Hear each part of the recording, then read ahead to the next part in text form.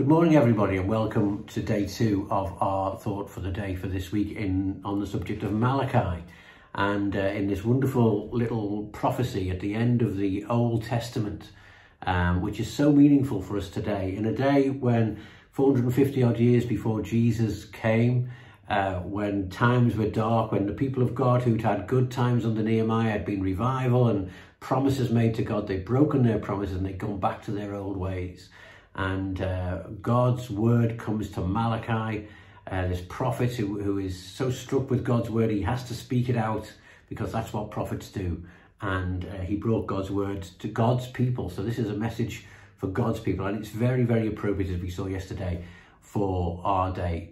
Um, so let's get into the word this morning. Before we do that, let's pray together. Heavenly Father, we thank you for this new morning, and we pray, Father, that you would bless us as we come around your word and help us to hear what you have to say to us today.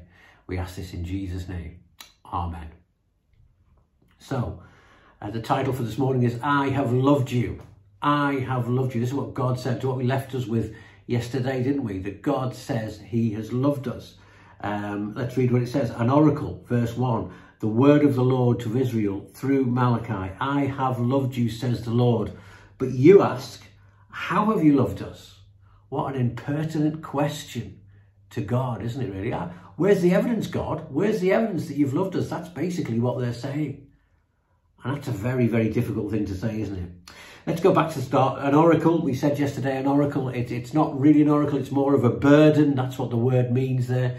And God's prophets have a burden, God's preachers have a burden to bring God's word. God's word is a weighty thing. That's what he's getting across here. It carries weight. It cannot be ignored.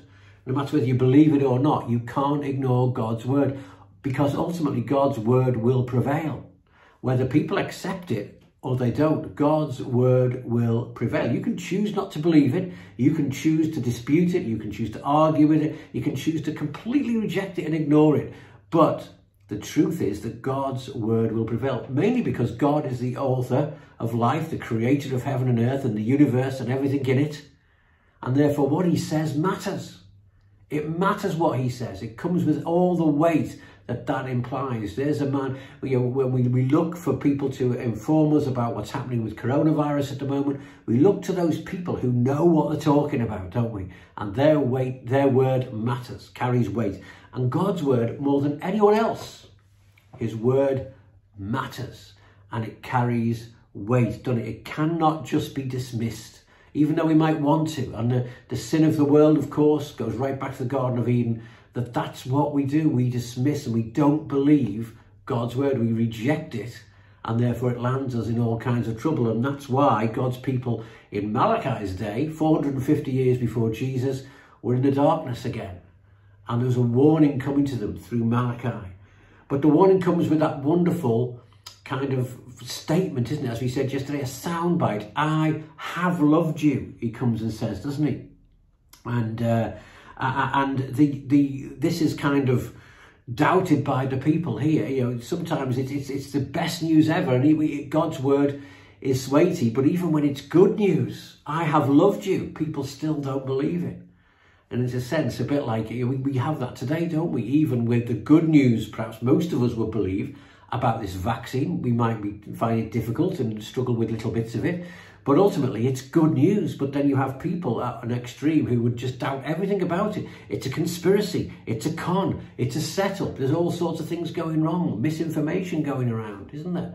And um, uh, and you know this is going to be harmful for us what's meant to be good and that's the way of the world with god's word as well isn't it and so we've always been able to do that we've always been able to turn good news into bad and so god says i have loved you and even that is turned into well how have you loved us where's the evidence god where's the evidence that you've loved us and these people are beginning to doubt that god loves them loved what god says when he loved us that's a perfect tense, past, present and future. It's got the all-encompassing. God loved us in the past. The Bible says before we were even born. That's an amazing truth. There's lots of amazing, difficult truths in this letter, this, this prophecy of, of Malachi that comes to God's people because God's word is weighty. Lots of weighty truths. And so the idea that God loved us before we were even born, that's hard to grasp, isn't it? But that's who God is. He loved us in the past. He loves us today in the present, not because we have earned his love in any way, but because he just loves us. I have loved you. No matter whether we are for him or against him, God loves the world that he made. And he also will love us, he says, those who are his people. He's loved in the past, in the present, and will do for all eternity in the future too. And that should be good news for us this morning, shouldn't it? It could also be, um, well, a bit scary as well, because what have I done with the God who loves me this much? That the God who creates the universe loves me this much, much. This sealed deal, this is done forever. That God has decided he loves you. And tomorrow we're going to look at the weighty implications of that. You keep using that word, but it's true uh, as something difficult things to understand about God's love. But but what about maybe today we think maybe you're one of those people, and we do think, well, God, I'd love to see more evidence of that. I'd love to see more practical evidence in my life of how you love me. Maybe asking the same questions as the people in Malachi's day. How, how have you loved me? Prove it. Show me how you love me. And, and in, a day like they were living, a day of small things, they'd rebuilt the temple. It wasn't as grand as the old one. And many people had just thought, this is just no way. This is not God. This is not, God's not working in the same ways he did in the past. This is a day of small things and perhaps doubted things. It's not like it used to be, the good old days. Do you think of those? The good old days, whatever they are for you, we've all got them, no matter how old we are. It was better in the past than it is now. And sometimes we doubt that God's still at work and he still loves us. And But we, we can let it go too far, can't we? This is the God who made heaven and earth and is always at work. And his word tells us that. And he doesn't change. That's what we said yesterday, didn't we? This God loves us and he hasn't changed. And yet we dare to accuse him and say, well, Lord, you've, you've neglected me. I haven't, don't feel your love. Lord, you've, maybe you've forgotten me. I feel like other people are being blessed, but not me. Lord, you, you, you failed me in some in, in, in, in some way. Lord, I feel that you're failing me in some, some ways in my life. I've prayed for this and you haven't answered my prayer in the way I wanted. God, you've let me down. And so much of that accusatory talk comes from a pride that's within us that we know better than God. And the people of Israel in Malachi's day had come to that point that they'd found other ways to live because they didn't like the way that God wanted them to live. And so it manifests itself in we doubt that God loves us. So when God comes, God's prophet comes and says, I've loved you from eternity and will do, they say, well, show us, show us the evidence. We don't really feel it. And because we don't feel it, we won't believe it. And it's, it's doubting, when we start to doubt God's love, it's the first step to unbelief in this way.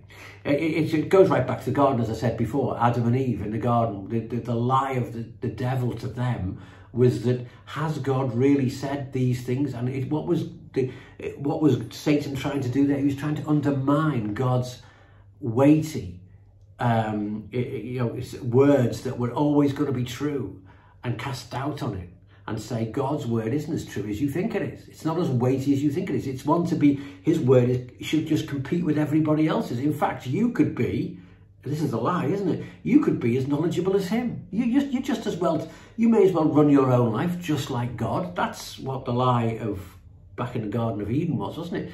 Take the fruit of the tree. God knows you'll be like him. He just wants you to keep you in place. Kind of all the lies that we know today about what it means to follow Jesus, doesn't it?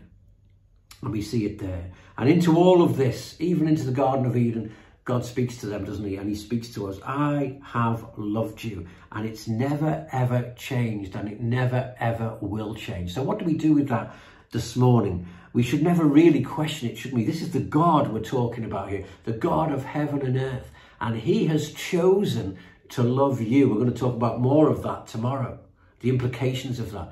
But the wages of that, that means it comes with all the guarantees of that, that he's never going to let you go. That's why Jesus could say, no one will ever snatch you out of my hand because who's big enough to do it? Who's capable of doing that? No one. Because God is the creator of heaven and earth. I have loved you. We need to keep that in mind as we go through all these things. Be reminded of the in these day of small things, in the difficult times, in the dark times, in the worrying times.